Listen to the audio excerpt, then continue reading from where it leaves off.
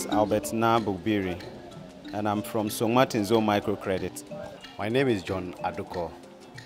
I work for Taraso Microcredit Services. My name is Sampson Makafui, the Northern Sector Coordinator of the Microcredit Association Ghana.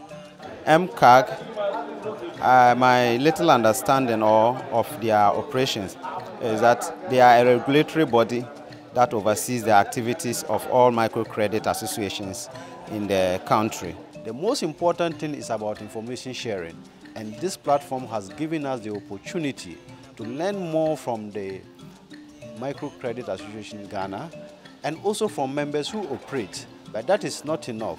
If we have more and frequent of these things, it will help us expose ourselves to the dangers in the market and how we can overcome the risk that may be emerging to us.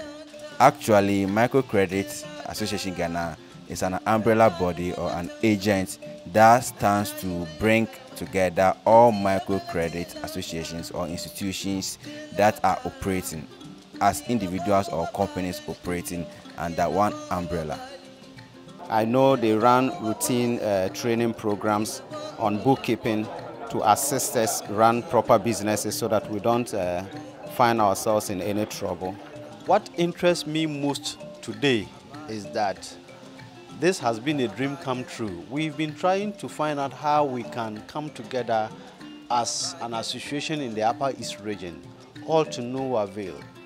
But this sensitization has brought to us members who operate in the, in the region that we didn't know ourselves.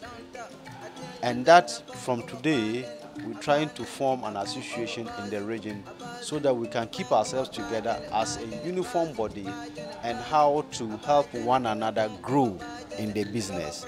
As an association, apart from the licensing that we do on behalf of our members, we do capacity building, we do a lot of trainings and meeting, meetings to build the capacity of our members and the staff so that they can grow their business and make it sustainable.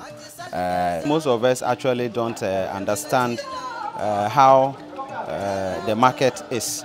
So I think uh, if they organize more training for us, I think training on bookkeeping and also to help us, they have a bigger arm, they have the capacity to understand the, the market better than we do.